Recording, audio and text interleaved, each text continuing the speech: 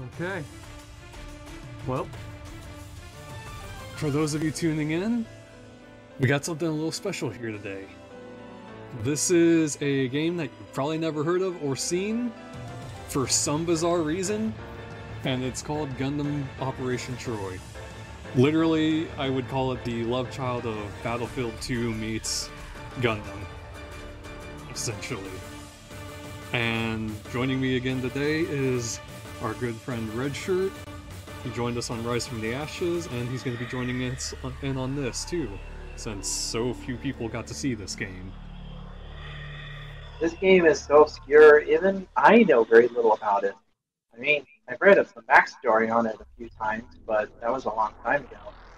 This game was only released in Japan on the Xbox 360.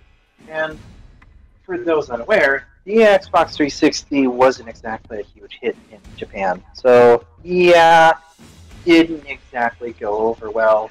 And while the game was well received, practically nobody played it. Yep.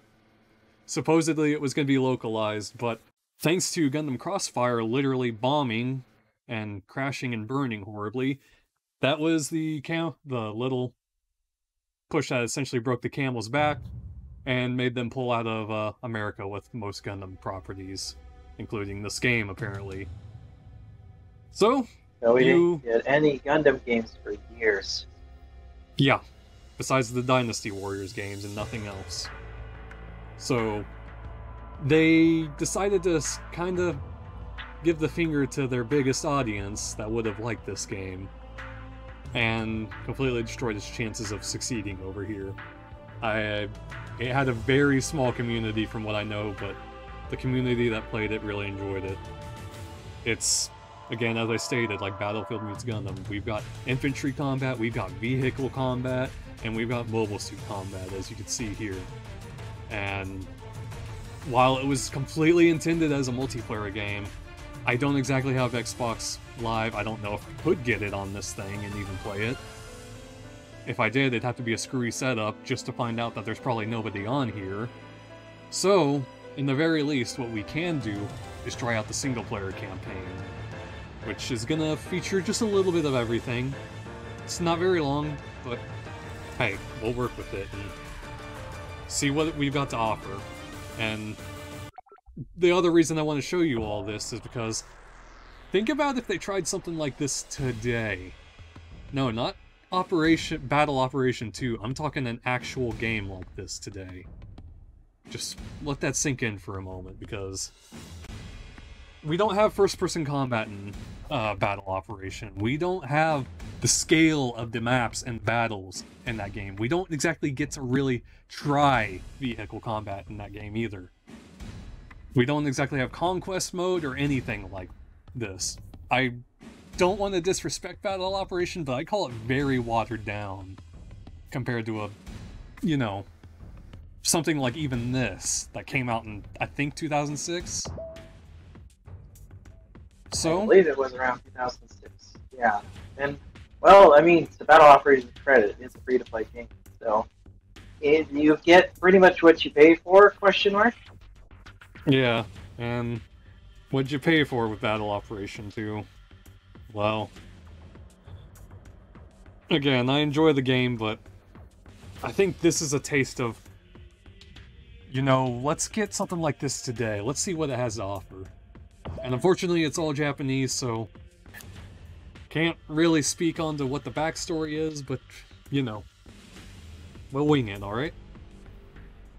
All we know is that it's set during the One Year War, during the titular Operation Troy, of which I don't even really recall what that one's about. Again, I, this is one of the few events of the One Year War that I have very little information about. So, this is going to be a treat for both of us. Yep. I'm definitely going to have to do some more research on the game once this is all over. Because if I'm correct, you're going to be doing a review on this, aren't you? Yeah. At least as close to a review as I can, and uh... Oh, uh, hey there, Nick Cage. Welcome. yeah, trust me, uh, we definitely would play a Battlefield game with giant robots in it. The only thing that you can get right now is Titanfall 2, MechWarrior 5, or, again, Battle Operation 2. That's pretty much our only Yeah. choices here in today.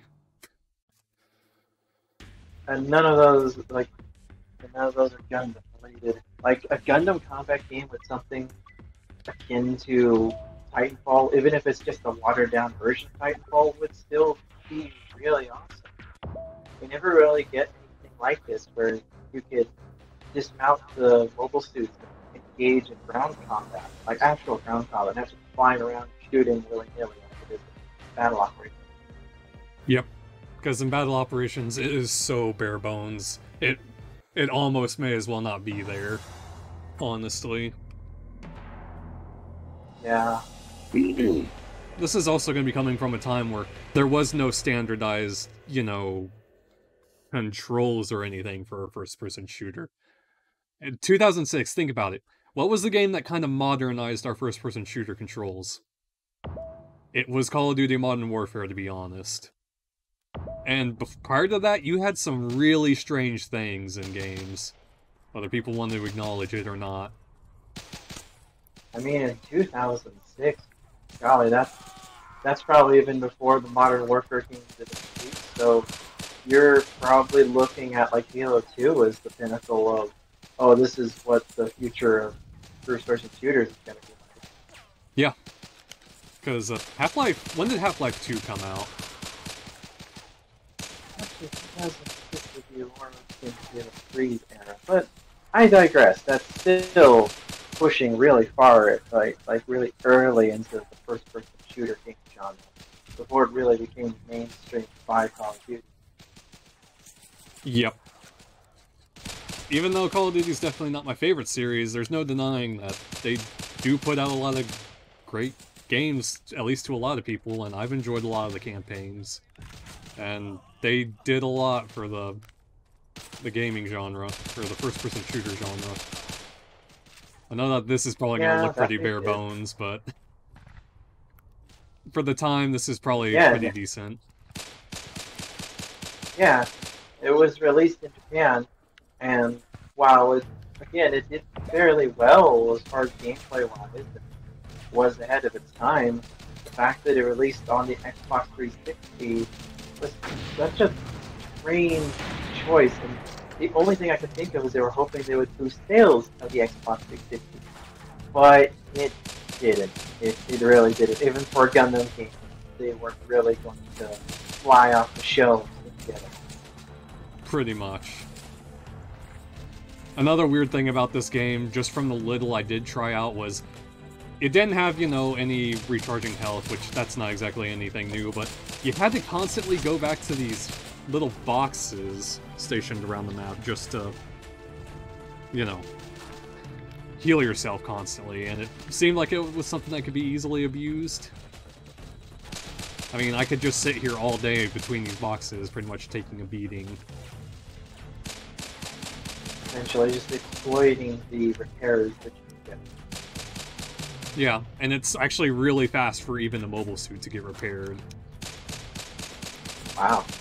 Yeah, so it's a little bit of a head scratcher.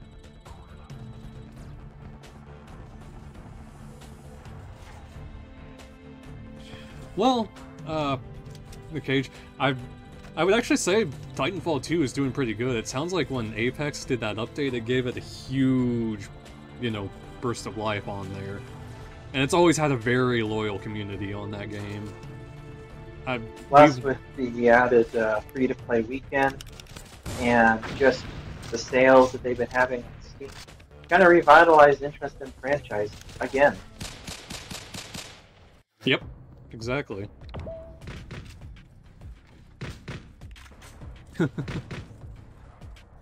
yeah, I guess Strange Controls is a, a surprise either, considering I have friends who will play Call of Duty with both the axis is inverted and max sensitivity, so I'm apparently the strange one out of everyone because I play with low sensitivity.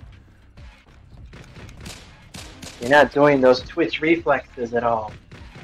Yeah, I, I really can't do that. Titanfall is literally the only game where I've been able to pull off Twitch reflexes.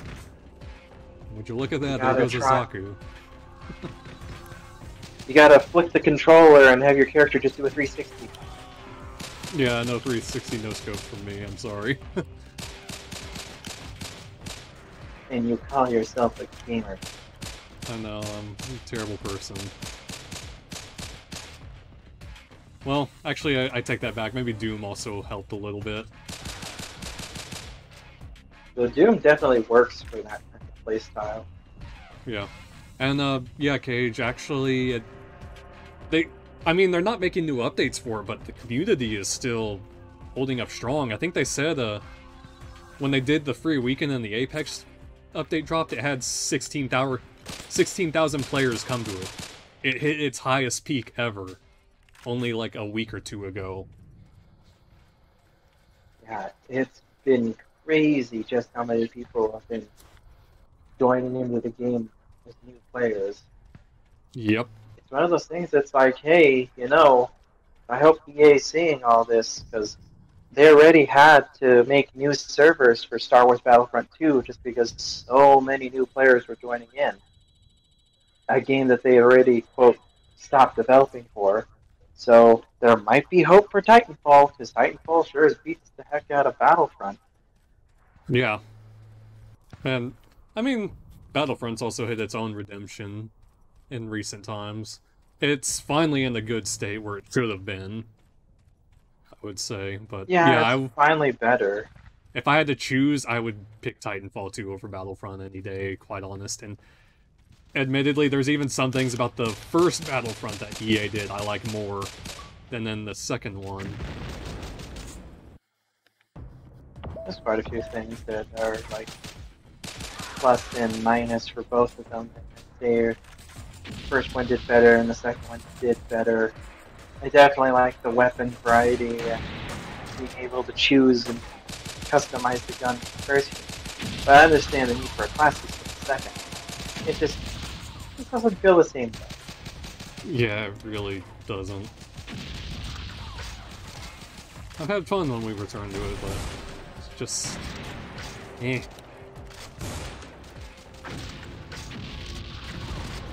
That is very big for a Magella tank. Magella tanks are actually surprisingly large for their size. That makes no sense what I just said. But anyway, they are surprisingly large. They were the main battle tank of Zeon, and they were meant to accompany the uh, the Zaku in the combat. Yeah. Scale-wise, the the Type 97 tanks are actually rather small, but that was just because the Earth Federation is mostly geared towards space combat at the time, so their terrestrial forces sort of saw a little bit of stagnation. Which is why they still had older model jet propulsion aircraft fighting mobile suits. It didn't didn't pan out so well. Exactly.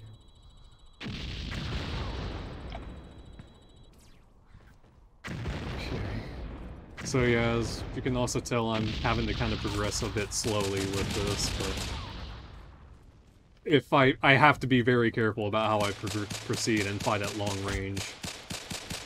As if you look closely, if I get just a little too close, you can see my health bar rapidly dropping. It seems like five bullets will kill me.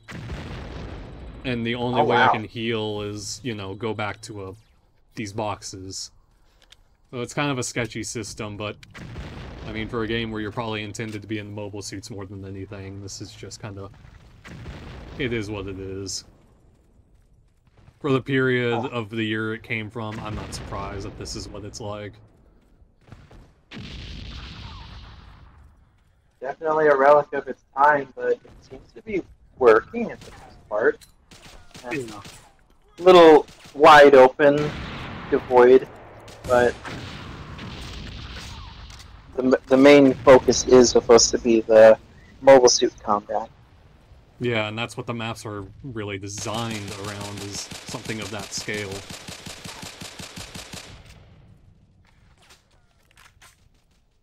I find it fascinating that despite being a Japanese game with Japanese language, that a lot of the menus and systems are in English.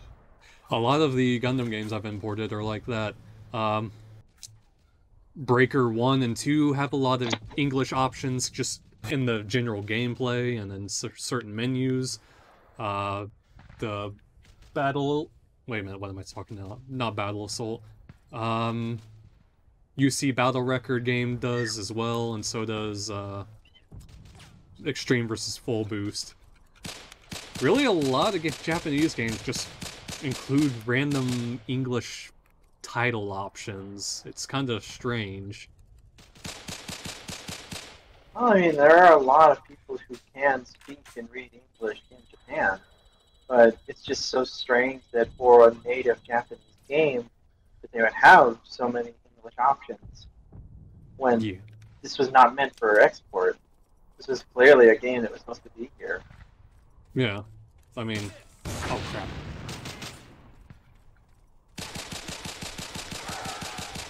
Sorry, I know my aim looks horrible. It is just really weird how sluggish this thing is.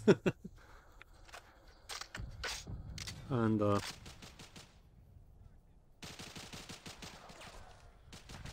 The ground combat's very rudimentary, to say the least. Yes, Cage, that is a tank of the Imperium of Man at that size. but, uh, sorry, what were you saying, Red Shirt?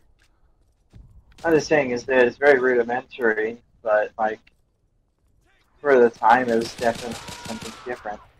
Yeah, if I played this back in 2006, man, I would have been hooked. I definitely would have been deep into this game.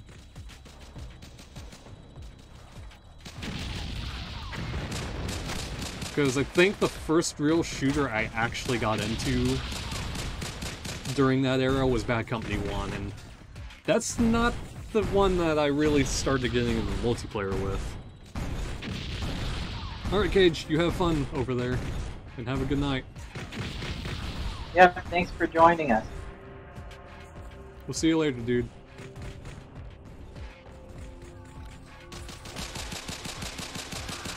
I can't tell if when I shoot the cars enough they just blow up. Or if that's just kind of naturally, you know, explosions are just going off in general.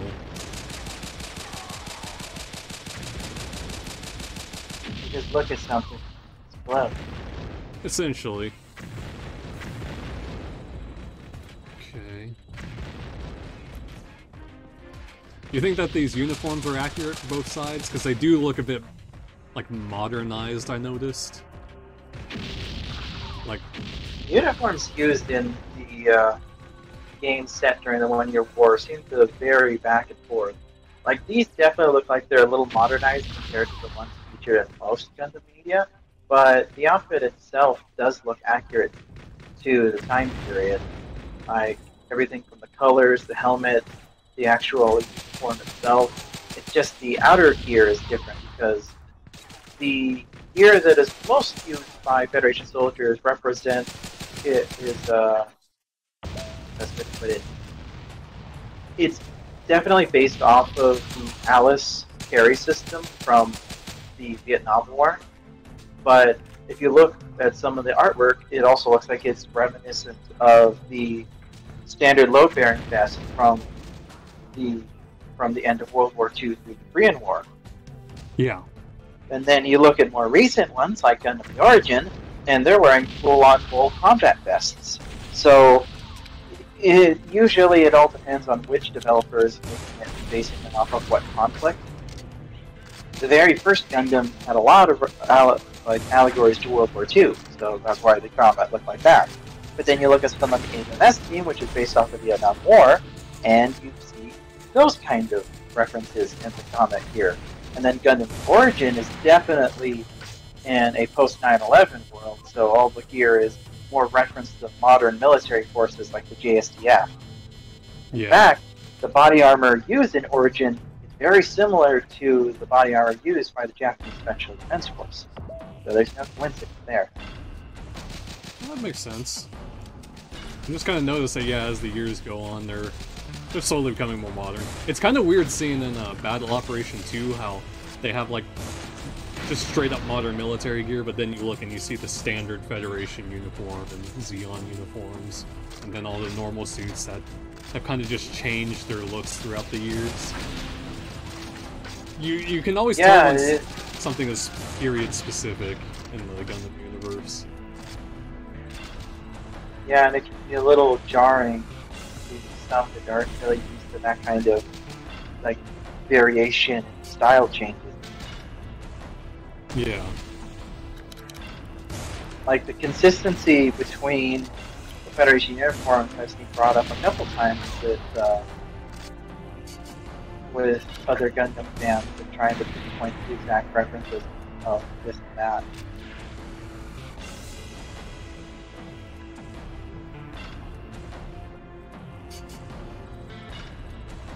Maybe I should have put this on easy. It's taking longer than I difficulty expected. are you... What difficulty did you put it on? normal. But yeah, just having to play this slow in the oh my god, that almost killed me. Jesus. Oh my god. Talk about timing. Oh my goodness. Uh, alright, 15 minutes for that mission. Fair enough. Well, since we can't read this, I guess we'll just skip. I kind of wonder if I should, you know, get one of those apps on my phone that just auto-translates, but I don't know how reliable they are. Or if I mean, maybe... there is, like, I know that Google Translate does have a feature where you can scan in real time with your phone, but its translation service more or less hit or miss. Yeah, that's kind of what I'm worried about. Okay. Yeah, sometimes it works fine. Other times it's like, what? It, it just generates the literal phrase, and that's not always what you're looking for. Exactly. Oh, and there on the screen that was showing you like the various repair points. And apparently there are multiple classes in this game. There's an anti-MS class where they run around with the anti-MS rockets and stuff. Uh, there's a specifically like anti-infantry teams, and then like I think the last class is like engineering or sniper unit. Oh crap! Oh god, look at those frames, Chug. You see that, Oh Zak- boy. Zaku in the very back trying to fire at us. Now, if the Zaku shoots you, is that like an instant freaking kill? I mean, if the tank kills me in one hit, then that thing's got to kill me in one hit. I can't imagine that being. Yeah, because that's like a 100 millimeter shell firing at you. That's gotta hurt. Yeah, that's got to be death. Okay, I honestly might change it to easy mode just so we don't have to spend so much time on some of this. Because I'm having to play it so slowly and methodically. Kind of amused that they also did the Call of Duty thing of uh, labeling each soldier on my team. I always like that feature in where you do the labels. That gives a Yeah. little bit of immersion. I that's kinda- probably one of my favorite features from Call of Duty Black Ops is that it populates the the soldiers as bots from your friends list. Really cool. Yeah. Does a good job of at least adding like an extra layer of humanizing them or something, or making them, you know. I don't know, feel like there's more character and we're just more behind them. Even if it may not seem Yeah. like much. Uh huh. I think that's really cool. Yeah.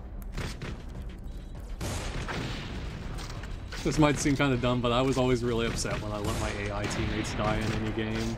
Even in Halo, all my friends would always just love killing the Marines, but I was always like, no, I'm going through this mission without a single casualty. I'm making sure they all come with me, and if they died, I'd restart the checkpoint. No man left behind. exactly. I don't know why I felt so bad for him, but I just did. I'm like, I can't have him die. Even though, like in Halo, you know most of them on that ring died.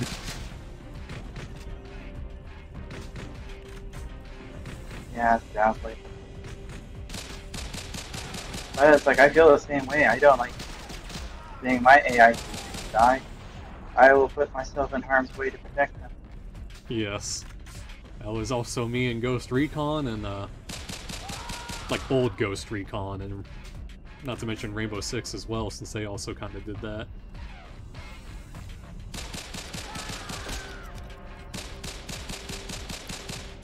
Okay, I have got to go back to heal.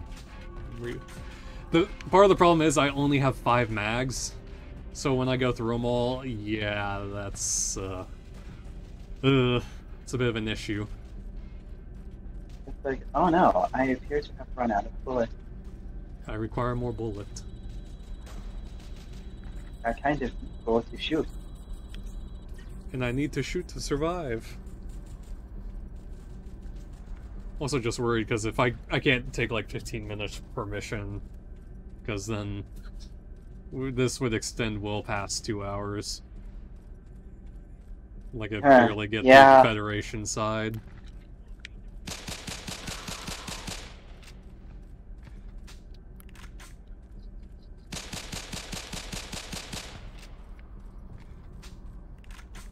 Okay. Well, there was a sniper in my face. Oh dear.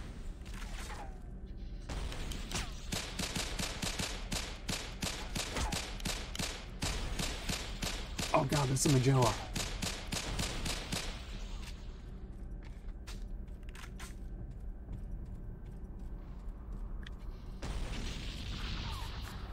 Funny thing is to, uh, I guess the Magellas have to be so big just because they break off and fly around.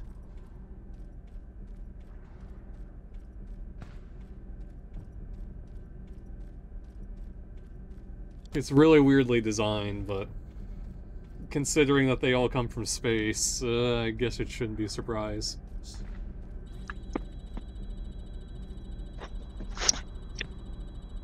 Oh no, I'm getting some weird uh, delay and lag.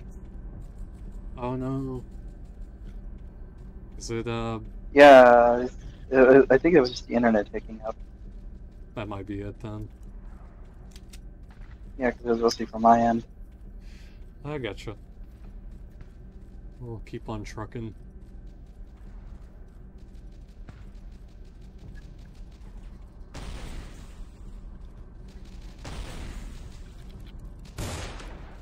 I don't think I even got anywhere near hitting. Oh, are you kidding me? There was a ammo crate up here.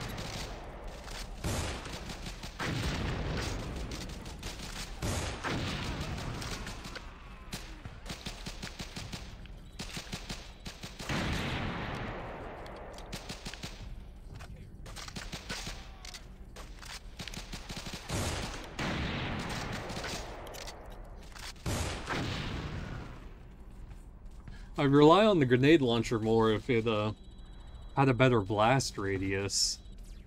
I'm not really sure what they intended this thing to be used for because its blast radius is almost direct hit only. Oh, I hope the stream didn't just freeze on me. Uh oh.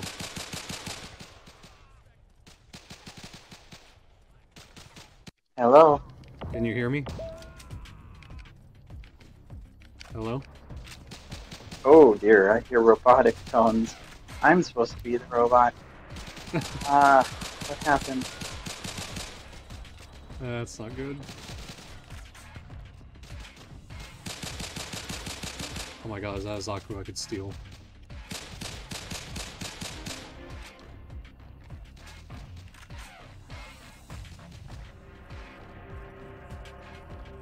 I think it is.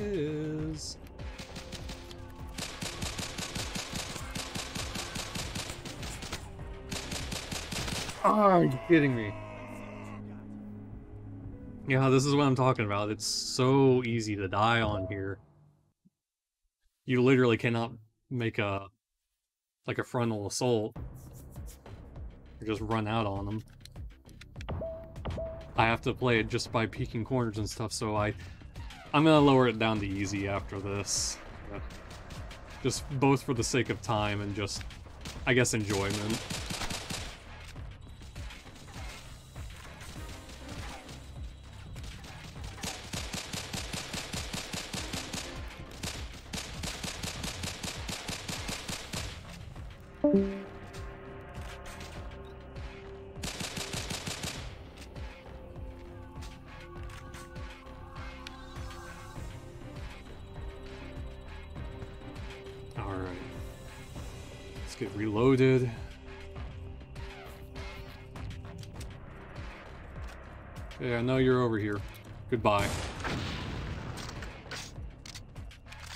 Payback.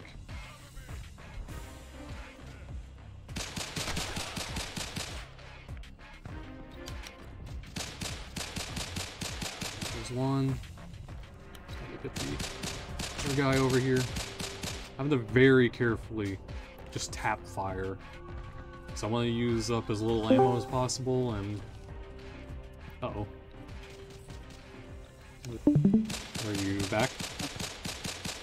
Think so. Fingers Neck crossed. got all weirded out there. Can Yeah. you hear me? I can hear you. Oh. Okay, thank you. Yes. Uh, I hope I capture this. Um, how do I enter?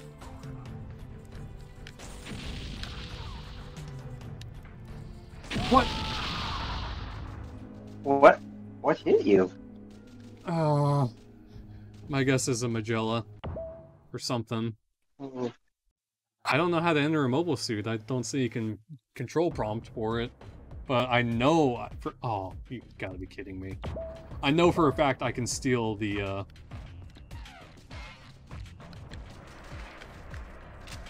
uh other other enemy mobile suits. suit. Yeah.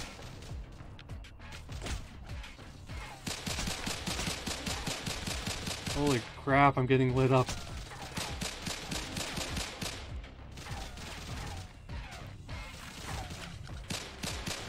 Help if I had cover.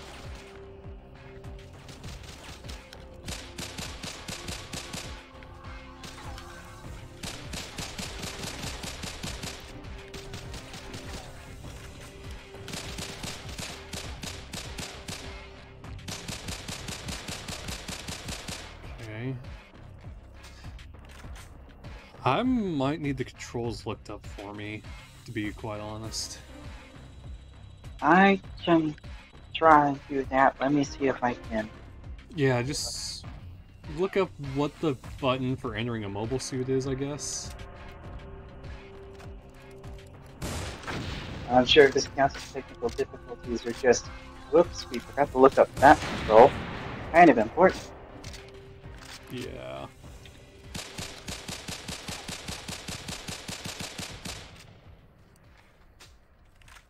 Okay. I'm gonna go back and reload. I think I'm gonna need the uh, extra frags.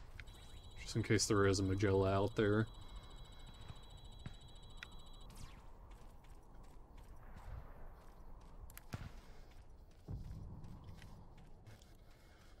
Oh. Well, I found the sprint button finally. That would have been nice to know sooner.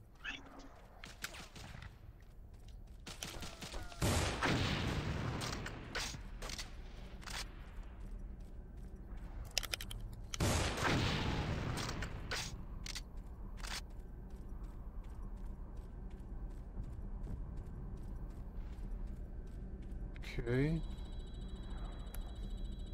Well, I don't see a tank out there.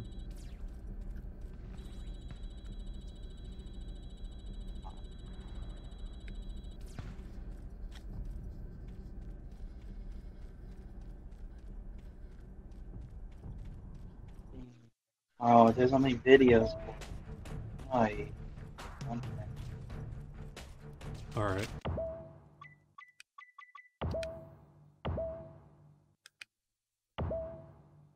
Wow, this video is 10 years old. Oh my goodness. Sounds about right. It's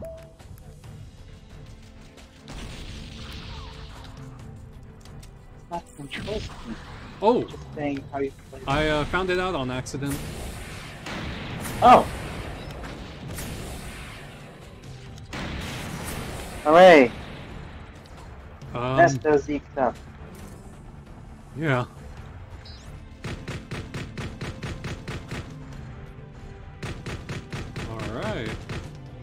Like the feel of this, and I like that this is clearly a Zaku head. You can see out of... Well, actually no. Would it be? It's almost like this is... This cockpit's in the Zaku's head, just from the way the monitors are set up.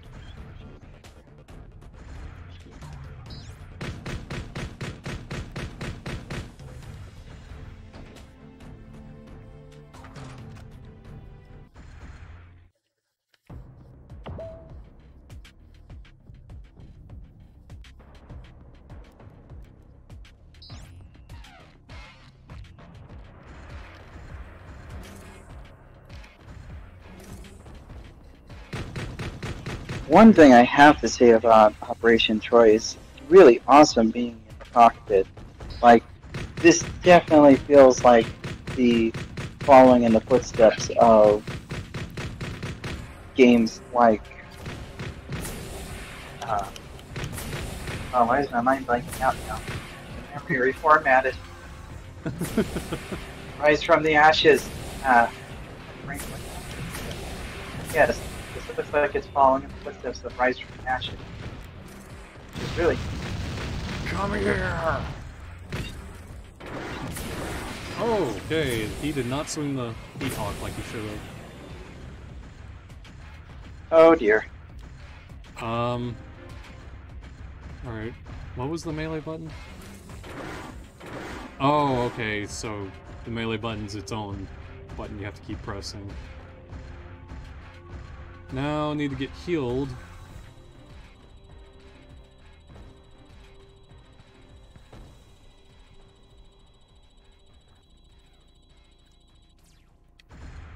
God, I love this view.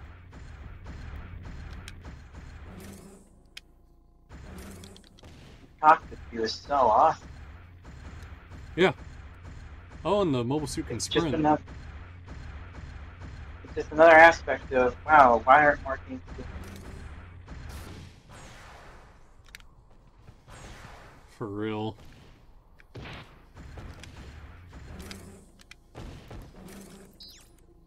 Come on. Oh, you kidding me? That one between the leg? God dang it.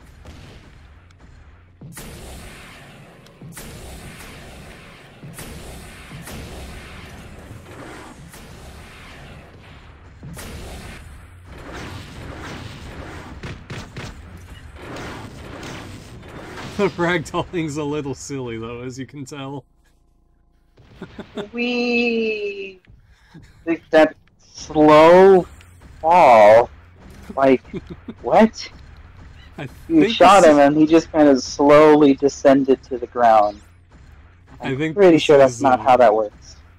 Yeah, this is probably around the time when ragdolling was just starting to be used in games, and they kind of. Oh no, ragdolling had been ragdoll had been around for a lot longer than this. It's just the thing is, is well, it's less ragdolling was a new thing and more how do you translate physics into a mech combat game? I know. Let's give the robots the same physics as people, That'll work, and right? then you get results like yeah, and then you get really silly looking results like this, and it's like it, it definitely works, but um, it does look a little silly. Honestly, yeah. Trying to get used to the thrusters. I know some suits can just straight up fly around in this game, but this just seems to be like a very brief hovering for this Zaku.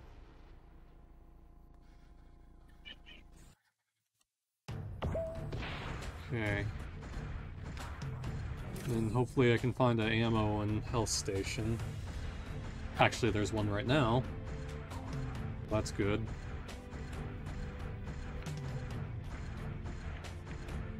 But I didn't go to the actual cockpit itself. I know a lot of these monitors don't seem to actually be working, but still.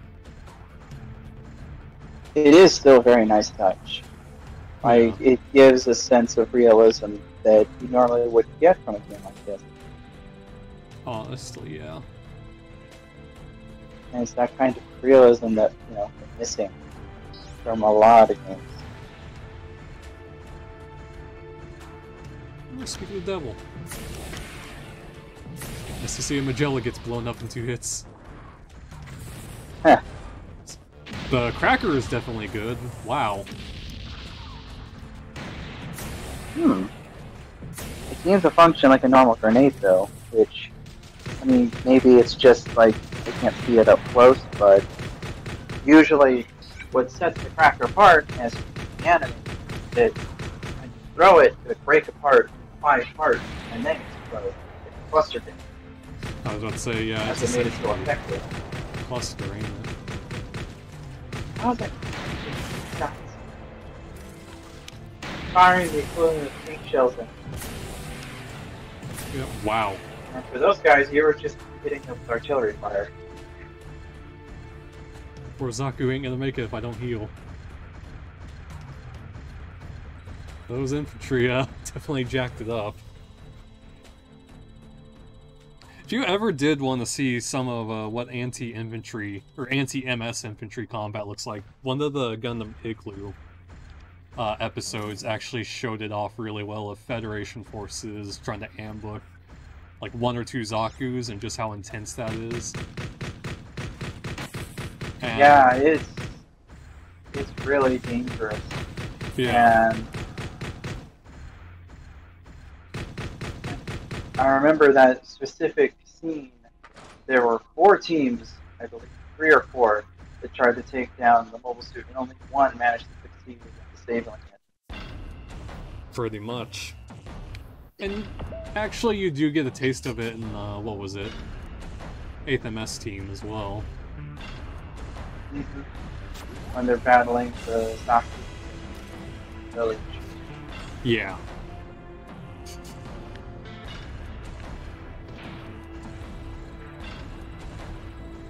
Weird to have to be piloting this as my first suit. I figured I'd choose this side because I thought I'd be playing as a, a GM before anything. Oh no, you first you gotta steal mobile suits. I gotta take a page out of Zeon's book of stealing mobile suits, apparently. Well, Zeon had the suit to begin with. It actually was the Federation that stole Zeon suits to give themselves an advantage, up until they started developing um, Yeah. trying to remember, the origin actually said. What was it? They, well, no, actually, they had the doctor. Uh, what's his name? Something Minovsky. He actually. Anton Minovsky. Yeah, then he actually defect and help them. No, wait, he was Yes, he killed. defected. Well, no, he defected to the Earth Federation, helped them develop the Minovsky technology for use with their mobile suit. However, before, like, as he was being transported to Granada, he was pursued by Zeon, and ended up getting killed by, uh, during the engagement. However, he had already passed on his information to Tem Ray and the development team, utilized new combat data to formulate the project, especially after the failure of the Federation military's loss of the early type gun cannon. Yep. That's right. I'm gonna see if I can.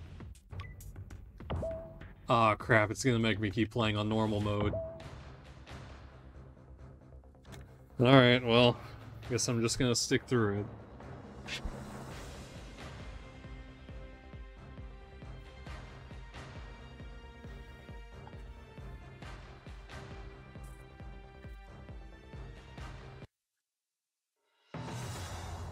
Alright, mission three.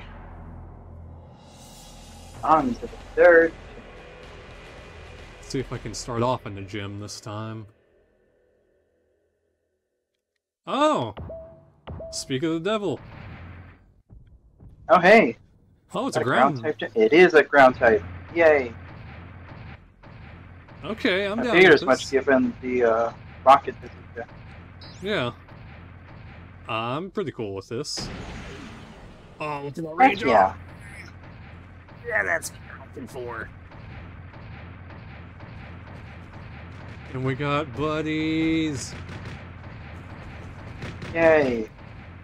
Let's go, dingoes.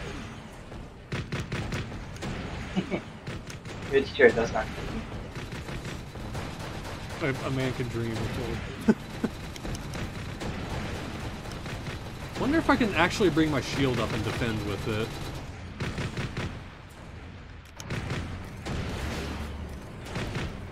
Fine. Yeah.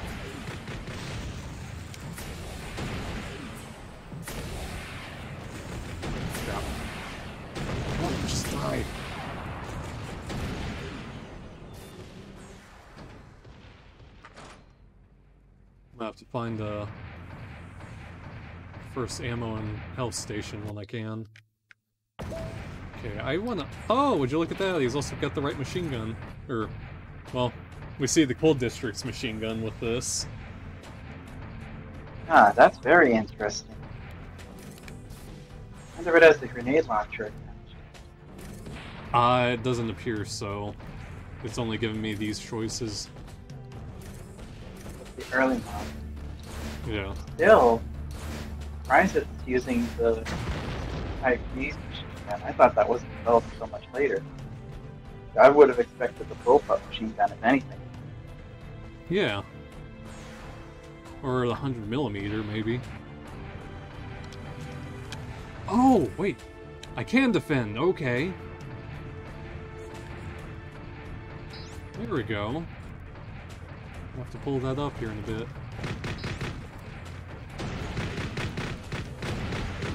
Here's how good this machine gun is.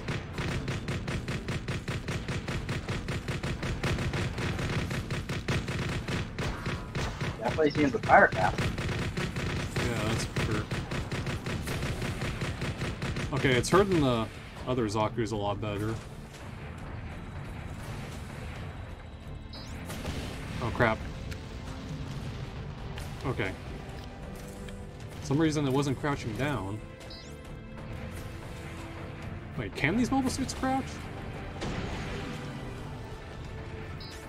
I could have swore I did it earlier. I thought they did. Yeah. Right.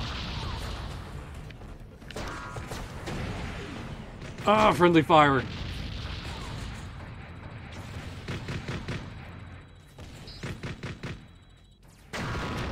Blue on blue. For real. Man, I'm losing my, my team. They're all dropping pretty fast.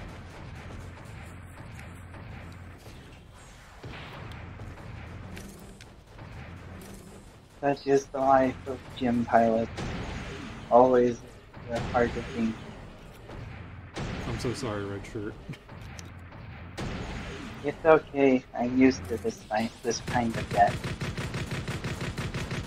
That's just very sad.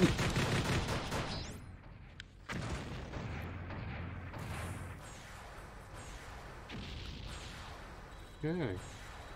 Alright, I feel like I'm getting the hang of this. I just wish I could pilot a, a ground Gundam or something. You'll probably be able to get to that later.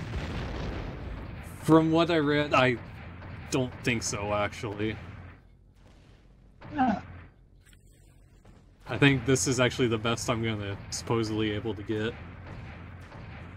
Why ain't it refilling In me? single player or just in the whole game? No, just in single player.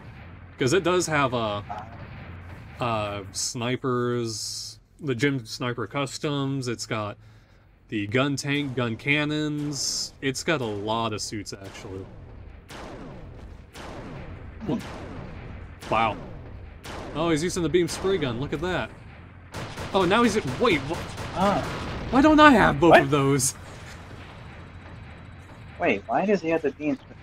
Okay, the chron- the chronological time frame of this game confuses me because you start out with no mobile suits, which implies that that's early in the one-year war, and you move to the GM ground type, which that implies okay, now we're definitely towards the pre-Odessa era, but the Type D machine gun wasn't invented yet, so that's a little odd. As far as I know, it wasn't invented yet. And and then now he's in the beam spray gun, but the beam spray gun wasn't developed until the mainline model GMs were created, because the generator output could support beam weaponry. This game isn't following canon. It's little inconsistencies like that that just kind of make me confused. Yeah. Oh, okay, I... Doms, really. And they definitely move like Doms. Oh my god, they're actually hurting me really badly. Oh dear. And now there's Dom, so this is definitely the pre-Odessa era. Because that's when the Dom was more or less prevalent. Okay, yeah, I need to be in cover when those guys come out. Think I better hide next to the, uh, the repair one. How many of them are there? Wow! Great, they're good shots too, apparently. Oh dear. Okay, maybe I'm gonna have to depend on a machine gun. That barely is even hurting him.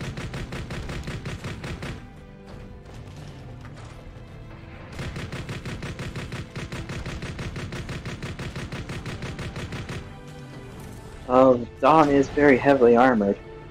That's for sure. Need something strong to punch through it. There we go. Yeah, there's one. Doesn't help that between these weird sluggish controls and the rocket velocity, I can't judge the right distance very well. Hmm. Screw this. Stay down. You just gotta bum rush them.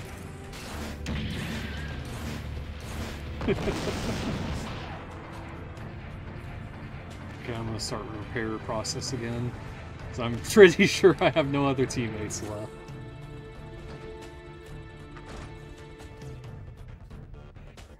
My fellow GMs have left me.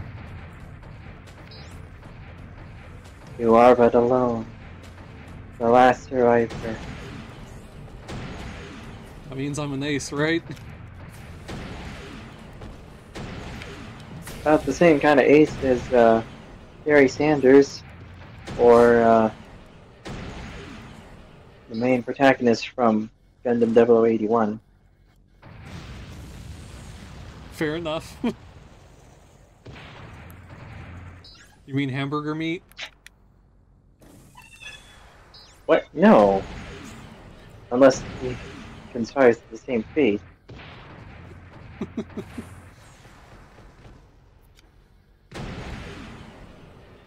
I said the main protagonist of Gundam 0081, not 0080. Oh my goodness. Okay, I forgive me.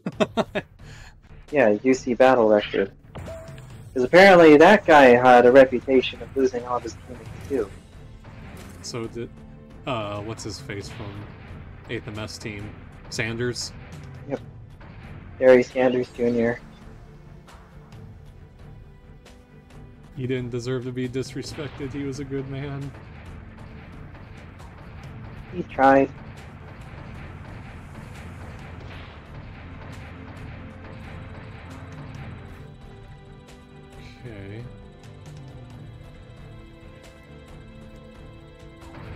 Try third person again.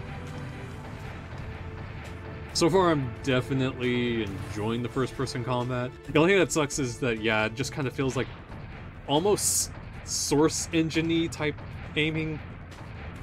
It feels like if.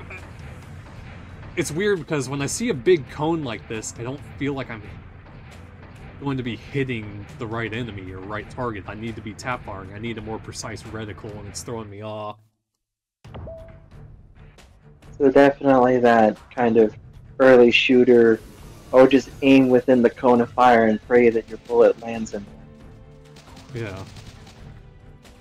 Great, I'm getting up for a mm. firefight.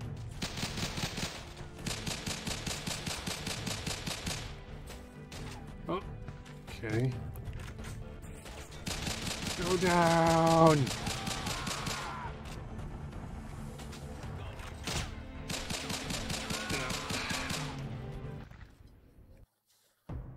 I love that they're giving me such detailed instructions, but I don't know what they are.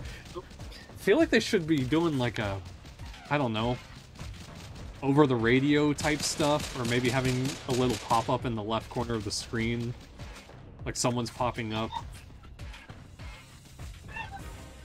That sounds like that would be appropriate, like just radio chatter, or yeah, just having kind of like a little overlay of like a bid screen. Yeah, because I just Especially when you're in the mobile suit. Exactly. And I just realized that yeah, we haven't even heard a single voice line so far, have we? No, no, I really haven't. Though to be fair, I can't really hear much of the game audio myself. I'd have to pull up the stream to actually hear it. Ah, true enough. Crap, is there a... There are refill crates nearby? Only got a couple bullets.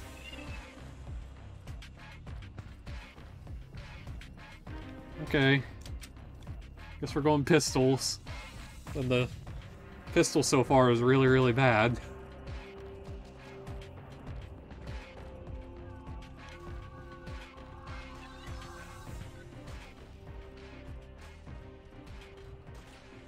Oh, there it is.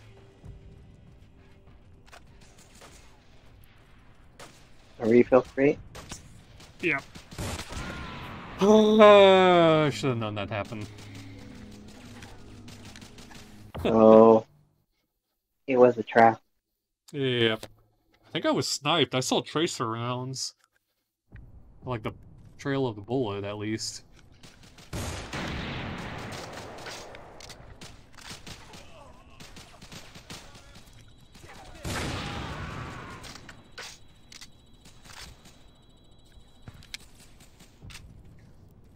Okay. I wish Battle Operations also did maps like this, like, you know, big mines and stuff. Because even the first one had some cool looking maps that we still haven't seen in the sequel. Yeah, like there's there's definitely plenty of map variety that they could go for. Yeah. Like, uh, what would be the next location you specifically would want to see, or whether it's an actual, okay, this happened from this series, or I just think this is a good looking spot to do it at. Well, if we're talking about ground combat, maybe something akin to Operation Odessa, where they're attacking a mining facility, would look really nice. Yeah. Something with a little bit of verticality to it, with like large machines or whatever that serves cover, and like going descending into one of those giant mining pits. I think that'd be interesting because we don't have anything like that. And for space, there's fighting outside of a colony, like the entrance to a colony, so you can go in and out of like the docking bay. You have like maybe shuttles and stuff that are kind of floating around. You can hide behind. There's the gravity ring that's kind of moving around. Yeah. There's also that. locales. There's locales like maybe the surface of Solomon, or heck, even the surface of Luna 2, like flying above Luna 2 and going along there. Actually, it would be cool to have one set on like the yeah the surface of a moon or an asteroid, and you simultaneously can land and then continue just flying around and fighting in space. Yeah. Kind of combine the two, you know.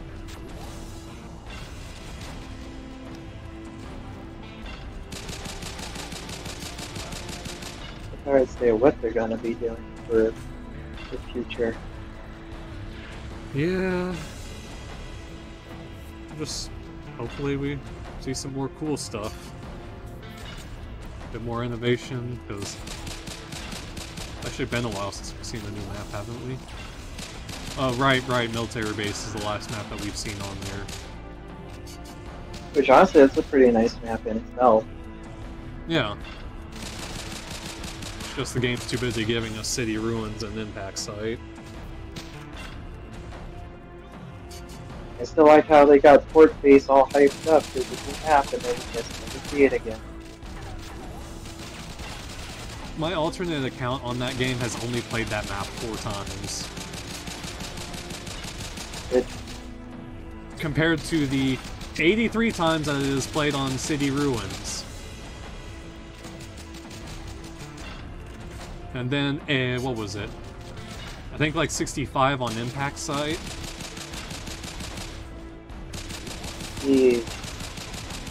But there's no bias, right?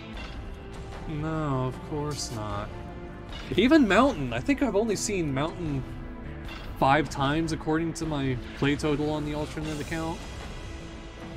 I know that the difference in numbers on my main account would be even more drastic too.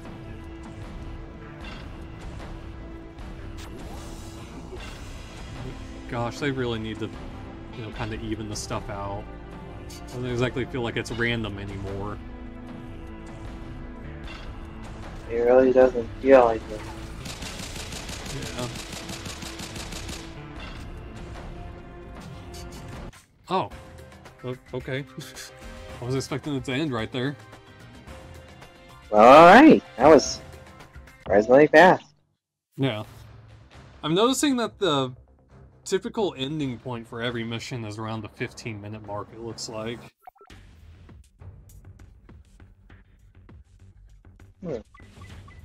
Oh, what? Is this an Arctic base map? Arctic base. Yeah, no, he's in cam uh, urban camo. Yeah, I see that. Huh. I hope I get to pilot another GM. I don't want to be stuck on the infantry combat too much.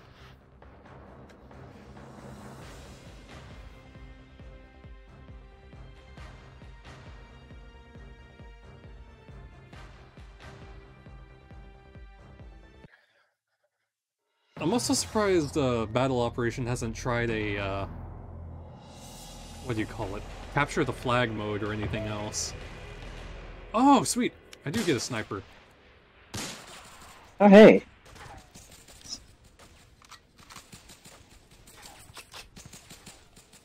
That's an, is that a bullpup? Semi-auto. Um, it feels like it's semi-auto. Okay. I really cannot tell where this is said at. Almost looks like a dock, maybe? Maybe it's supposed to be representing Belfast? Maybe. I do like the scale of all this. You have to consider that they had to make all these maps fit multiple roles of combat. Yeah. Which, that is a really awesome touch. Yeah. You gotta have coverage that would fit mobile suits, but also coverage that would fit infantry simultaneously. The only problem with that, I think, is this game was 6v6 battles, if I remember right. So, I mean, when you look at the scale of this place right now, yeah, that's a little strange. This needs to be like a, you know, 32 players at least. 64 is kind of like the standard on a lot of these big Battlefield games. And I'm assuming Battlefield 6 is going to bump that standard up to 100. Yeah, I've been hearing that a lot, 128 multiplayer, which I'm like, wow, that's that's awfully ambitious. Let's hope they can actually try and pull that off. It's kind of They'll weird. have really bad flashbacks to the last time that someone tried to make a game of that scale. You didn't love Mag? I didn't like the long loading times. Yeah. I only ever got to see one of my friends briefly play that game, and that was it. And he just kind of was sniping on top of a building, loo- looking on a roadway, and only saw him fight like two or three people, and that was it. That's kind of the mag experience, sadly. A lot of it is just kind of finding your your camping spot and just picking off targets. It's a lot smarter than dying and having to respawn one of the few respawn tickets you got. Yeah. Unfortunately, you just. You won't get to experience it or find out. It's one of those long gone, or dead and gone games now. It is lost media. Yep.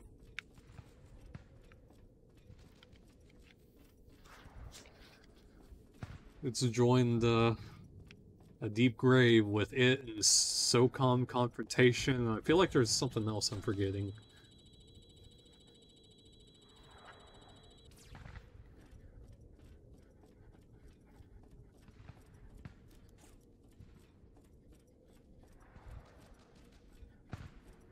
I have no idea where any of the enemies are.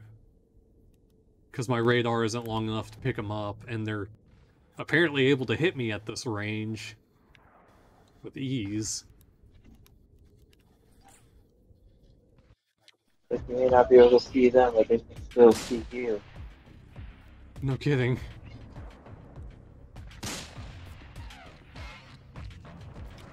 Wow, that's a lot of infantry.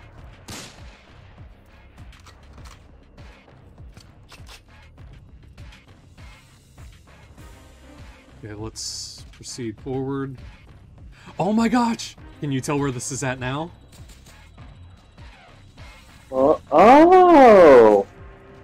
Oh, this is Jaburo. That's actually pretty cool. Like, yeah, like now it's getting looked at like to see the inside or inside Jaburo. Now the scale of it makes sense. Oh, Wait, why haven't we had a battle operation map set in here then? you know, that's another good point. Why isn't there a Jaburo map? That would be right for amphibious combat. Like, you could argue the jungle map is supposed to be Jaburo, which even I can be convinced that's the outside of Jaburo along the Amazon River. But even so, we could have a map set inside Jaburo and fighting along the inside of the base. And Yeah. just have it set to, like, there's a section that's completely flooded in where you can have amphibious suits battle. There- There's plenty of spots where you can make for it. So, Huh. That definitely needs to be a suggestion or like coming soon on there.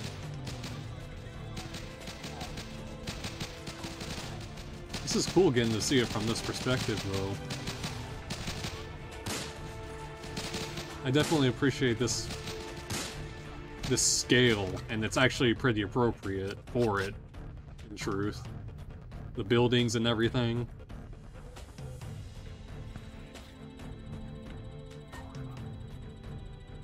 yeah, because Jaburo was a very big base.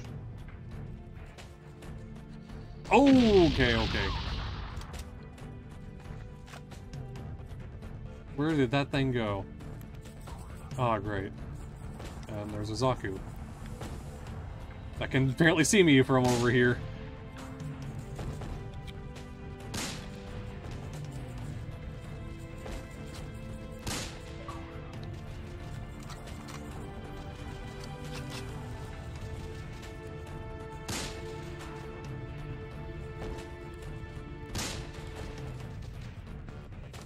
There's so many of these MS crate. Oh, wait, GM. Is there a GM for me to get in? I mean, if this is Jaburo, that would make sense that there's a GM. Yeah. Why are you running at me? Stop ignoring the infantry right beside you.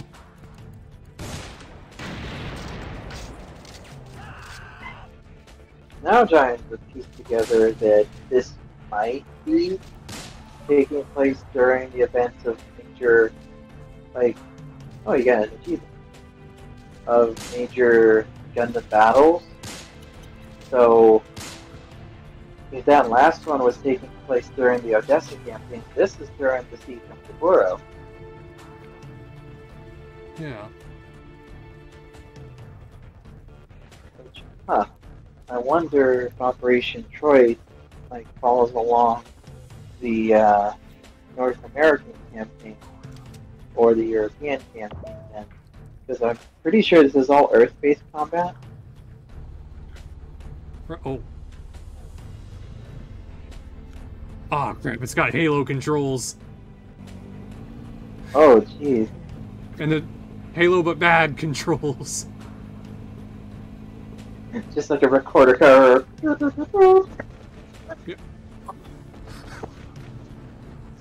Turn on the Warthog run.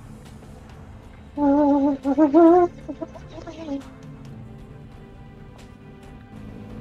smell roadkill. Whoops. Don't mind me.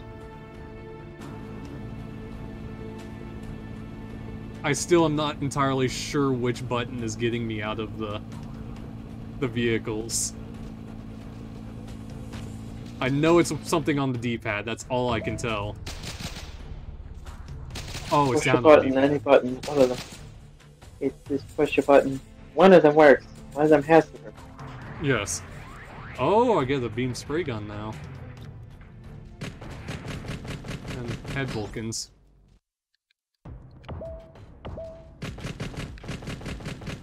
How many of the other Gundam games have had Jaburo? Uh, it's been a staple of quite a few Gundam games, especially those that follow the main events of the One Year War. So, let's see, off the top of my head, besides the titular uh, Gundam Journey to Jaburo, there's the original Federation versus Zeon game, Gundam versus Zeta Gundam. There's the Dynasty Warrior uh, Gundam games that did that too. So there's like all of those, Alright.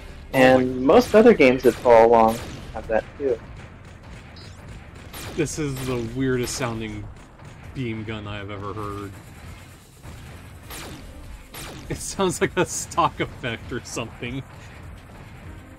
Oh, okay then. Oh, crap. That's not the usual like pew kind of noise that you hear from it. No, that's really not. Crap, what's following me? Oh god! Oh god, multiple groups! Get away from Oh me! Oh no. There's a no Zaku's, my boy, no Zaku's. That's for sure. My spray gun.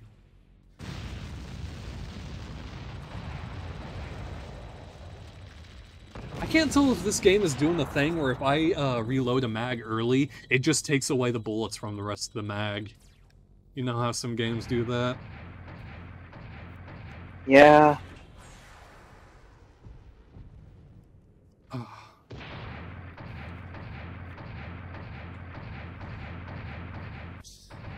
do wish uh, Battle Operation also had a sprint button. Granted, this sprint ain't really lasting very long. Just something this sprint will make you just a little faster. Especially Yeah. on a map of this scale. When you see Red Shirt running towards you, I'm going to beat you to death. fear him.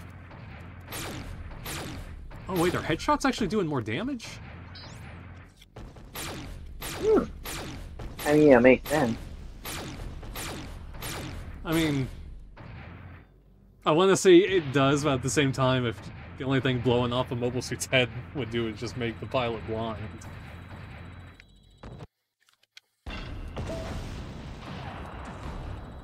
Do they even have backup cameras in some mobile suits? Oh yeah, many level suits did. The, uh, like for example, in 08th MS Team, when the it easy? No, it was still the Gundam Ground Type. Had its main uh, camera disabled because it got hit in the head. It still had backup cameras to see with. Most level suits have cameras mounted on the eyes, the very top of the head, the back of the head, as well as a camera that was mounted right outside the cockpit. I gotcha. Oh god. Everyone's favorite quality pastors. Oh no, Am about is it the Roly? Poly Boys? Yep. Oh no, it's a good one. Not the act, guys. Hey, that's not an accent, it's a job. Yeah, we aren't seeing waddles yet.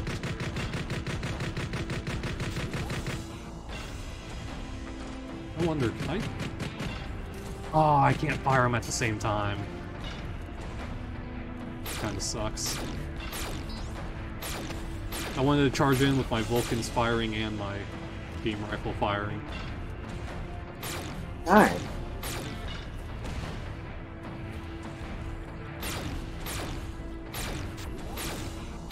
Crap, crap, crap. Come on, hit him.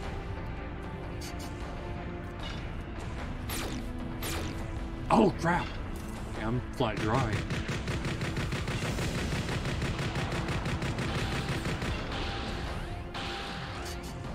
Almost got him.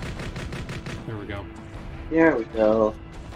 Crap, there's not a ammo point near me. It's Oh no. repair point.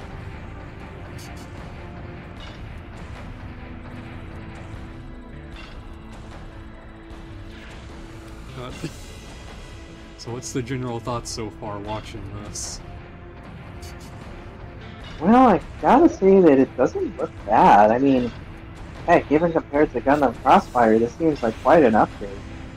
Yeah, And come on, you're inside of a mobile suit. Look at this. Look at this cockpit view. Is This is awesome. If I were to do an upgrade of the layout that I have, I'd probably base it off of this. for real man. In fact, I'd probably ask you to take some screenshots of like the inside of the cockpit view so that way I can use it as reference. 'cause There are practically no good high resolution. There really aren't, and I'm wondering. This game probably doesn't have an option to remove HUD. Most shooters do, but this was so old, I don't think it's gonna have it. I wouldn't put faith in it. Not Okay. to mention, I don't think you could have read the instructions to anyway. Right. Okay, so that was Jaburo. That was mission 4 out of 5. We're definitely taking longer than I expected it to. Um, but we'll see. Oh, wow. Okay, I wasn't expecting that. Oh, hey, and you see ships in the background. You never see much Ooh. about naval warfare in Gundam, and that's probably for good reason.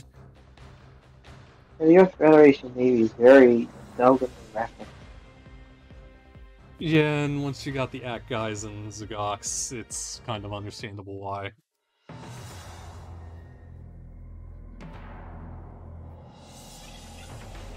I was about to say, you know, it would be cool if a modern Gundam game did also have naval warfare, like destroyers and cruisers and uh, gunboats kind of zipping along. Oh, this is California. Oh. Really, Oh, Gregory? that's the. Uh... Oh, you're using the beam gun but the GM Command. Yeah. You're still on standard GM, I think. Uh, or ground. No, you're in a GM. what? What? Ground type GM with the what? What? when could you equip those? That is not in your standard equipment layout. No, it is not. What? I am so. I'm confused now if this is actually Um, a viable loadout, or, or if it's just like exaggerated for the team. Because as far as they know, they're not equipped to handle these weapons. It's kind of weird. Oh my god! Okay, okay, Jesus. We need to back off.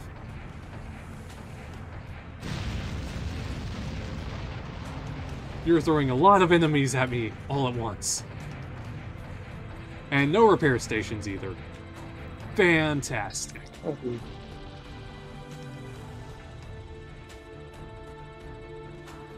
Come to think of it, a lot of the Gundam games did these mobile repair stations because both uh, Crossfire did it and UC Battle Record also did it. And I'm assuming some of the PS2 games probably did it even.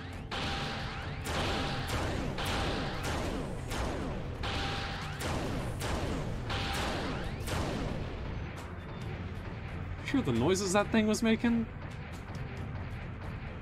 Again, I can't hear the game because watching through the screen. Yeah. Z'Gok is making very strange, like, pinging noises. Or dinging noises, it sounds like. Huh. I wonder if this was like an attempt to try and modernize the sound effects. But Um, hmm. I think the sound effects are fine the way they are, honestly. They're iconic. yeah. Well, it's like I remember Crossfire also did that, trying to update the sound, like the sounds of the machine guns and even the movement of some suits. So the walking sounds for suits like the GM, the Gundam, and the others were kept pretty consistent. Huh. Yeah, I don't think I even remember what they sounded like on Crossfire now that I think about it. I think the only thing I remember is almost every Gundam game I play, I'm like, 100mm machine gun does not sound as beefy as I imagined it would. The only one I feel like got it right was uh, the Side Stories game, but Side Stories game didn't exactly get much right to begin with. Yeah. Oh, this is gonna be Oh, rough. Side Stories. Side Stories game is also another Japanese exclusive. Yeah, and it's another one we'll never see, but one day I'll show it on the channel. One day. So just kind of anticipate that. Yeah. Maybe I'll play through a couple of the campaigns on stream. Oh my god, this is really rough.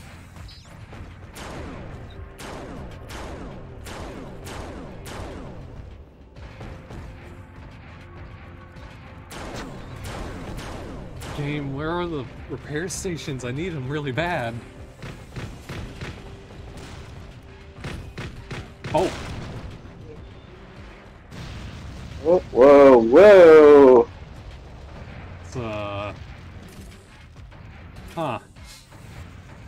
Where are they putting You these frag grenades?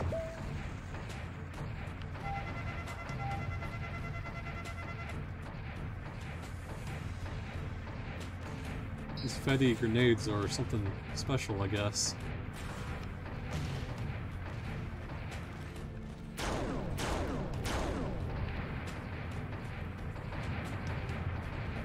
Man, this mission's gonna be a nightmare. They... Uh, I don't get why there's no repair kits, and the enemies are only focusing on me! You are the biggest threat. Apparently. Jesus game, what do you want from me? Really, they want you to die. I'd rather not, thank you.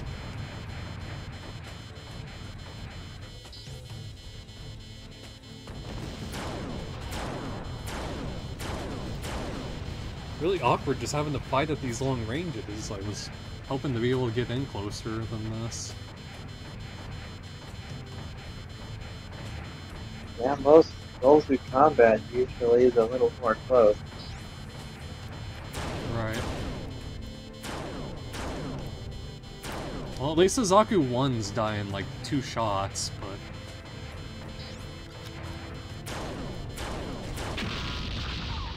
Okay.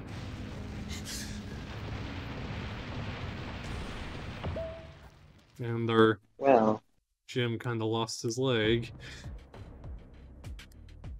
can't fight without leg. I mean, you can, but it's less than ideal.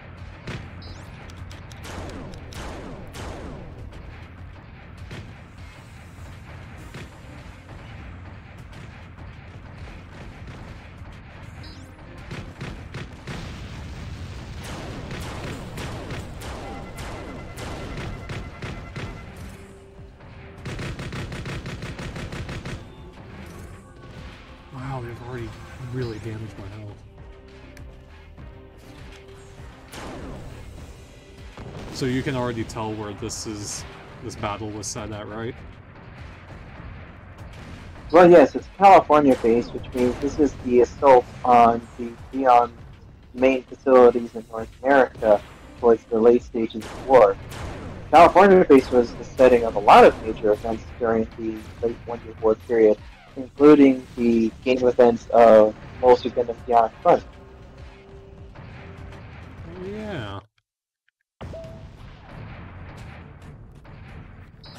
The Midnight Fenrir team was tasked with escorting Zeon forces that were retreating Earth uh, from the California base along the southern edge of the state.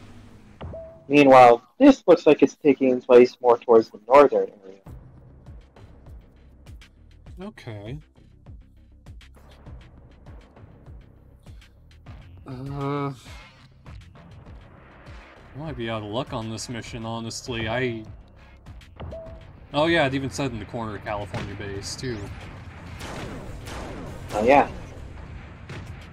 I was right that it is looks like it's following more than North American campaign.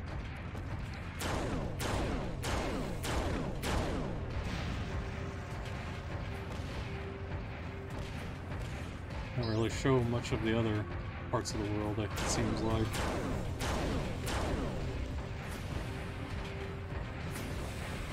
Wonder if maybe I just need to play more aggressively in a mobile suit. Instead of trying to snipe.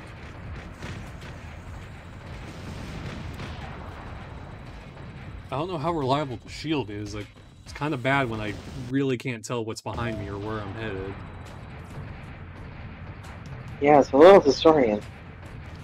Yeah, with this much of my screen being blocked, it's just kind of guessing. Advancing carefully, raises up the shield, slams into a building. Whoops.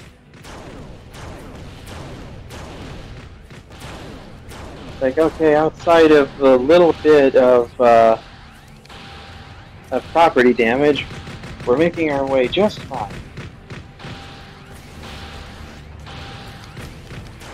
Come on. Come on, reload, reload! Go down!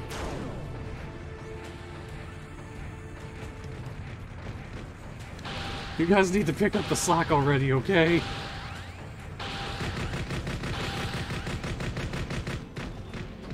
Okay, maybe I should try to run up to him with this 90mm out. Because, yeah, definitely the closer I get, the more it chews through him. It makes sense for such a lower caliber. It has Yeah. pretty good velocity, but not a lot of penetration power. Right. So didn't ask. So you do like this GM cockpit. Is this pretty faithful to the other iterations you've seen?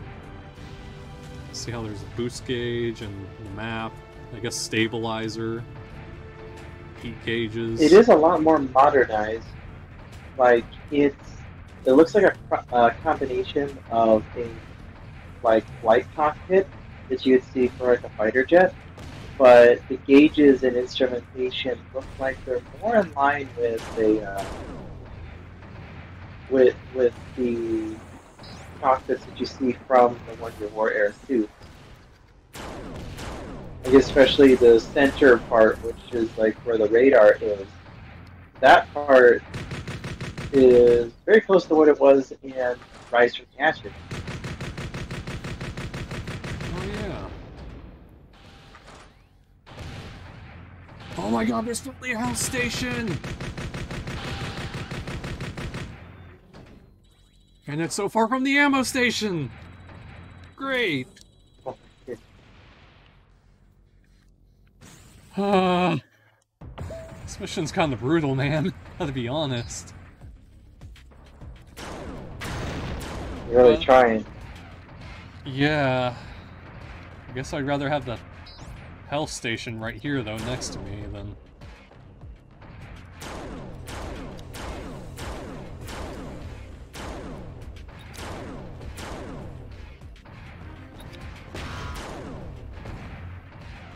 Okay. Screw your goof. Far, the Z'Goks are being the biggest pain to deal with. Honestly.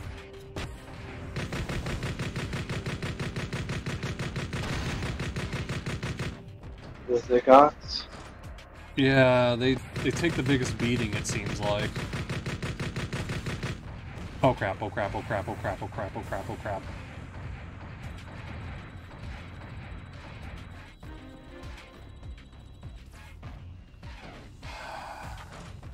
Should I backtrack all the way over to that ammo station way out in the distance, or keep pushing forward and hope there's a... God, I only have one mag. Ooh. You know what, I'm gonna backtrack. What? Probably for the best, because I don't think you have any backup. Like, Nope. The beam rifle is completely dry, and there's only one mag in here. And these frag grenades do not have good range I, that I cannot judge very well.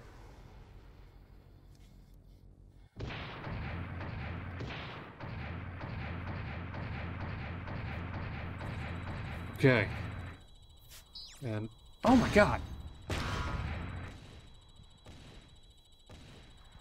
Thing's sniping me all the way over there. Jeez. Wait, did I really lose all the GMs? Did they all die again? I think they all died again. All like five of them. Oh. Listen, guys, I know it could be mass produced, but usually they don't need to be just blowing up all really, nilly like this. They're letting me down. Oh, great. Just slowly hooking around the entire harbor.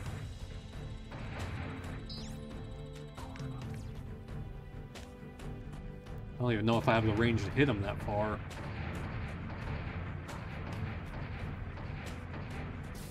Oh wait, there is one one GM. Uh, Nathaniel Edgar is still alive. Probably for two more minutes. One. So, come on, Nate, you can do it. Uh, he's kind of surrounded. Try to survive. Oh dear, come on, you can survive. Hopefully. I wish he would, but I don't know. It's looking very good. Oh my god, oh my god, oh my god, oh my god. Get away from me, get away from me. Eat frags. Oh my god, why did it go so high? It bounced off the bridge. Okay, that that's better. That one definitely hit. Looks like frags are generally one-hit kill.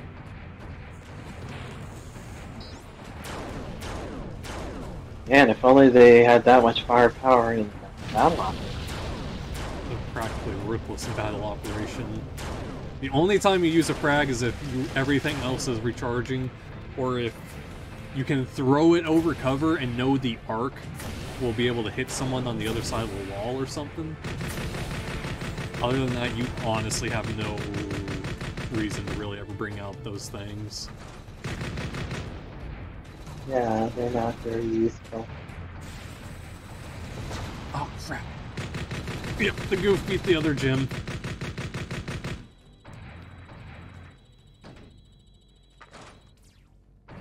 Oh dear.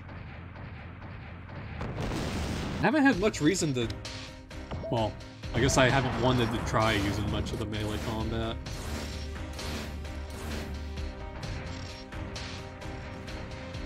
Okay, the music ramped up super intense. I'm wondering if I'm about to see something like a Gelgoog.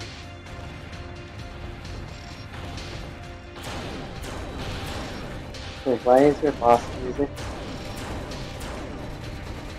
I don't like this. Get away from me, get away from me. Oh crap, oh crap, oh crap. Oh god, that... Uh, that ain't no normal Zaku. Oh dear.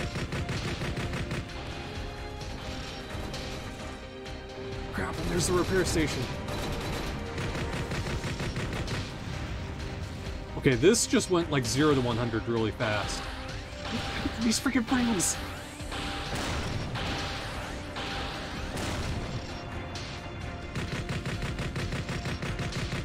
Come on, come on. Get him! There we go. Okay, I'm gonna run back for ammunition real fast, and then I'm gonna try to make a sprint for that uh, repair station.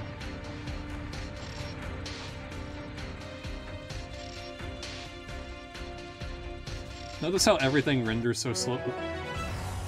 Oh. Guess the AI finished off the last guy. Hello and welcome. Hello. Welcome to the stream. Yep. right, as the last Federation mission is beat, and well, we definitely will not get through all the Zeon campaign. I'll probably at least start like the first mission or two. Probably just the first one, since they're taking on average 10 to 15 minutes. Yeah, this like that was actually rather quick, I gotta say. Like it Yeah. literally just ends at California base, which I'm surprised. Like I know that was like one of the last major offensives of the One Year War, but I would have expected just a little bit more. Maybe covering the North American mop-up campaign, or even the push into Europe. But huh? okay, Yeah. It would have helped if we can at least read what's being said between missions. Also, yeah, look at that. There's the ground gun with the 180.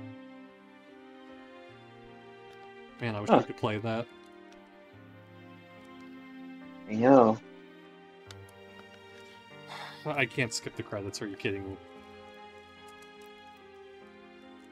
it might be faster to just restart the game, honestly. oh, wait, is Oh that. wow. Is this, no, that- Should, should I just reboot? why is there not a great? Oh wait, maybe this is the end. This is probably the end, actually, yeah. Man, I wish I could have piloted that ground Gundam. That, that, that looks so cool. It does look cool. Produced by. Okay, you don't. I'm assuming that we probably ought to wrap up for this, unfortunately. Uh, sorry. If, sorry if everyone's just now joining. It's a bummer. I'll probably be posting this whole entire raw VOD on uh, YouTube, though, or at least just the Federation half of it. Edit it down just slightly and maybe try to subtitle some of that stuff if I can. Sorry you came in late, Mark. But at least you're able to see some of it. Yeah. And, uh, I don't know, you want to continue the rest of this sometime? Or should I just do it in my own time? Uh, might be interesting to try and do it again some other time. Okay. And since Figure we, out when's the best time to do it. yeah, we have taken about 15 minutes, although that last one was 12, so I'd assume 15, 30, 45, about an hour, hour and a half. Yeah. Okay. And ah, well, that that's Dutch. That's how we uh, communicate once we're actually in game. hmm All right. Well, any quick thoughts or feelings that you want to wrap up on with this? Getting a good look at the game, I definitely have to say that it looks visually impressive for the time. And overall, kind of a shame that we never really got to see this out like outside of Japan. The fact that it even has an English title, like Gundam Operation Troy is the Japanese title, it was supposed to be released in the United States as Mobile Ops: The One Year War. Yeah. kind of like trying to brand it to sound more appealing. But yeah, it just kind of never went through. Probably because of Crossfire's failure, but hmm. It probably was also doubled by the four sales in Japan. Again, it was an Xbox 360 exclusive. That doesn't make sense for Japan. But yeah, it is what it is. Yeah, unfortunately. They got a lot of good titles right after Crossfire, and we never saw them, unfortunately. And I hate to say it, but they just pretty much shot themselves in the foot with that, I think. Yeah, they did. At least they're, I guess, trying to correct that now, but the problem is I wish they would take more of a chance on making s- new stuff right now. They seem to be playing it safe and very slowly putting out games. Yeah. And it's more or less stuff that slow. Yeah, it's more or less stuff that, you know, they've already kind of done. They don't want to do something big or risk taking like this, it feels like. hmm But all in all, yeah, I, I enjoy what I'm playing. It's definitely a product of the period. Yes, it's aged okay. I mean, there's definitely some elements that are weird, like the ragdolling is a little, a little immersion breaking. But little, that being,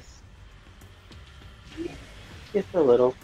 So that being said, it's still the graphics wise, it looks pretty nice. The mobile suits are impressive. The cockpit looks beautiful. Like the cockpit view looks really great. yeah. So yeah, like some like some elements would definitely be fleshed out if ever they would make another game like this. Which, for the love of of all that's holy, please, Bandai Namco, ju- just give us something like this again. We're begging you. The technology is there. It wouldn't be hard with this kind of assets and stuff that are made today. The, it's very much possible. They could do a a 32 v 32 type match, and not every single player has to be in the mobile suit. I mean, try to make it varied, have multiple fronts. Maybe like five players are piloting mobile suits and fighting in the background, while you have infantry attacking flags or bases that you know the mobile suits can't get into. The infantry's got to deal with that out there, and then they got to try to quickly transport flags or whatever. You know, just something that You would could give. technically make it. Hmm. Well, make it sort of like rush mode from Battlefield, where you have to arm objectives, but the objectives are inside of bases that you can only get through infantry. So you'd use the mobile suits to rush these facilities and give them cover, and then the infantry would go in. You would essentially treat the mobile suits like giant, like giant mechanized machines, of just like tanks would. Yeah. And uh speaking of the tanks, I mean, try to make those maybe like the infantry rush segments, like those are the quote unquote mobile armors you have to deal with. The bigger units, essentially like how it is in Battlefield, you know. Uh, yeah, exactly. And not to say that they shouldn't do like an all mobile suit mode, you know. Try 12v12 all mobile suits only on big maps, or maybe. I, I don't know. Would you think 24 is pushing it, or 16v16? Because 6v6 is. 16 might work because Yeah. I was like, you got to remember, think of a game like Titanfall, which has six v six combat and the kind of scale that it's representing. Like that's literally the template you want to go for for a modern Western mech combat style game. Most games don't usually go beyond that. Yeah. And then even just playing battle operations, 6v6 is very hectic. You're right So even that. if you are going to have some infantry for that, you're probably going to be going at most 16 players, with six being the last maximum number of mobile suits on the field.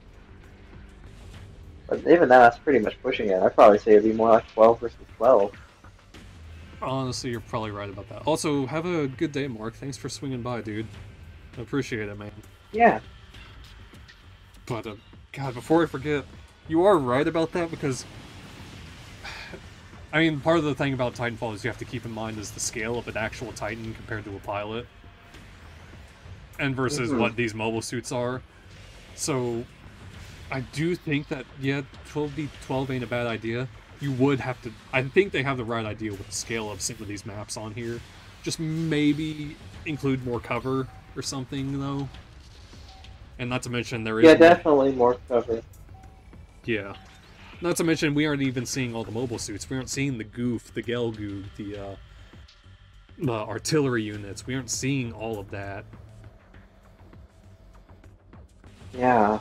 If they did do a current day one year war first person shooter Gundam game, they would have well, as we've seen from Battle Operation, a lot to work with, but you'd want to keep it reasonable. Don't make it like all you know, the most powerful units on each side. No, try to keep it grunts and maybe go up to as high as the RX 78 or a full armor Gundam versus uh like what a Gelgoog Jaeger or actually no isn't the Jaeger from 0080 I believe so, but it, it's along that line. You'd want to keep it something like balanced, yeah essentially. You don't want to go too hard with it, or else then, yeah, it's a little bit much. pretty much and I mean even the mobile suits maybe could fall into their own classes kind of like Battlefield does of assault engineer uh sniper and uh well I mean engineer I guess that's not exactly the right thing but you know what I mean compare it to Battlefield's classes or even Battlefront's classes really I mean, engineer could still work because you'd have someone who would have like a repair tool to fix mobile suits up, or even tanks on the battlefield. They'd probably also be engineered for anti-mobile suit warfare.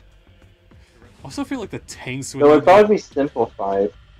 It would probably be simplified too, not so much classes, but more like weapons loadouts. So you'd have something geared more towards infantry combat, something geared more towards mobile suit combat and support, and then maybe something in between.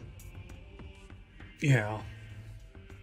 Actually, speaking of, well, do you think the tanks could be balanced to where it's like, okay, they won't just instantly get be guaranteed to lose every mobile suit fight. They at least do stand somewhat of a chance.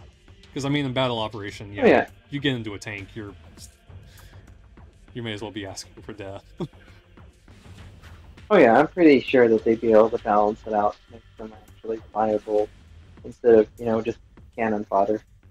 Mm, yeah, you'd have to make them at least be able to, you know, seriously maybe to kind of inflict a stagger or something.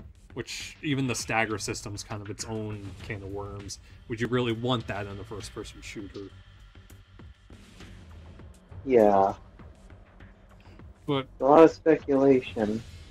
yeah, before we just go rambling off way too much on this subject, that's just basically the thoughts here. It's a shame that we never got this, but man, if I played this back in 06, I would have been head over heels and glued to it. I know that. Yeah, But ain't nothing we can do about it now other than look back and maybe learn from it in the future. So uh, we'll try to probably do the rest of this campaign. Hopefully, it should only take an hour, hour and a half at most. We'll we'll see. We'll just have to organize for it now. But I'll try and get this Federation half and just this little wrap up here posted on YouTube. So thanks for joining Red Shirt. I really appreciate it, and everyone who watched. And yeah, hope you all have a wonderful day. Stay safe and take care out there. Tell everyone bye, Red Shirt. yeah. It's been really great, and I'll see you all some other time. Hopefully on another Gundam-related stream because I love joining in. There's gonna be plenty more of those coming, and uh, I, I might want you around for uh, even a few things beyond Gundam. I'll hint towards that too. Yay! Alrighty, everyone. Take care and have a wonderful night.